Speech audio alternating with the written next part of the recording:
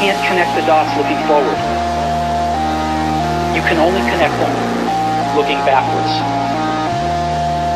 And most important, have the courage to follow your heart and intuition.